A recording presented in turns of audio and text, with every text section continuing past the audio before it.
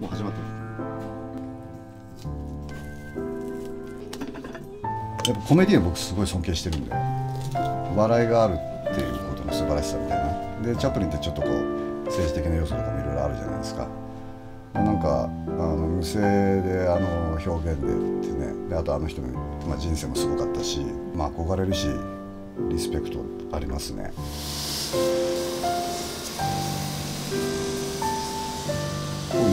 ずっと料理人だったんですよ仕事をそ辞めるタイミングみたいのがあってなんか違うことしてみたいな人生一度だしみたいなとこがあって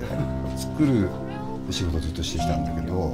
直すことっていいなってすごい思ってで何を直すんだろうなみたいな考えてたんだけど、まあ、その中でこう靴も一つ僕好きなものとしてあって思い切って飛び込んでみたみたいなのがきっかけですね。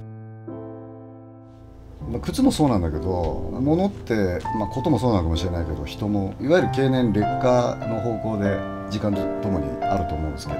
経年美化するものが好きで時間とともに美しくなっていくものそういうものってスタンダードな世の中にあるじゃないですかもっとこう自分の愛おしいものと一緒にずっと長くいるってことになんか力になれる存在でありたいなとは思いますね。これポリシーというか思ってるのは、まあ、ノーと言わないこと、もちろん難しいのもありますけどどこまでノーって言わないで仕事ができるかっていうのは大事にしてますね。